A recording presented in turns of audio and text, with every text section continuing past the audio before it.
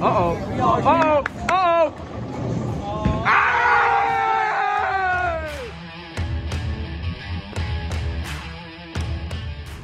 What is up, Mustang Nation? My name is Jared Young, number 90 for your Friendswood Varsity football team, and I am back again with another episode of In the Day and Life of a Mustang. And today, I'll be taking you through how we come together as a team off the field. Uh, we have a fun evening planned with the team, so uh, come along. What's up? I'm back at it. Uh, this is my same friend, Seth. Uh, uh, this is the man, the myth, the legend, Matthew.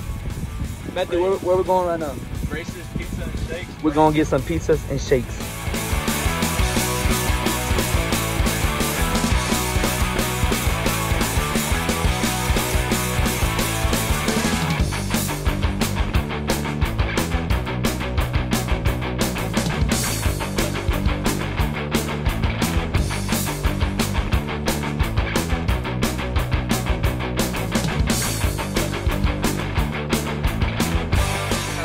Dinner? It was good. It was And great.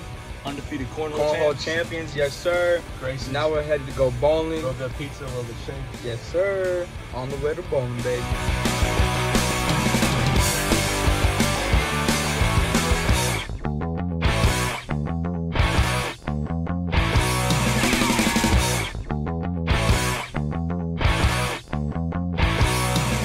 Hey, JT Roar, number Hey, seven, hey, running back receiver.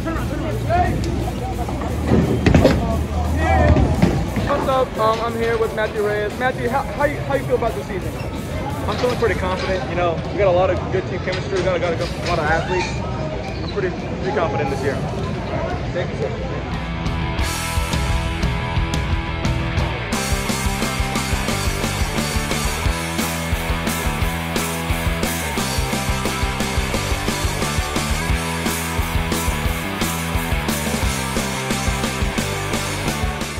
Jared Young, defensive tackle for the of Varsity football team. And this is Laser Tag, baby. Okay, okay.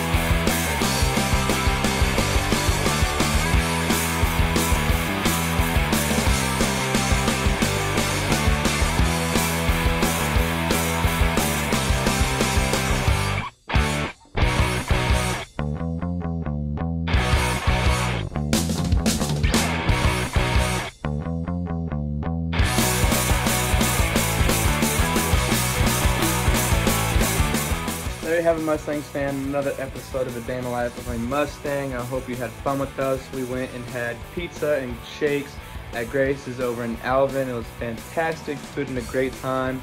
We played cornhole with a couple of guys. Me and Matthew, of course, the cornhole champs.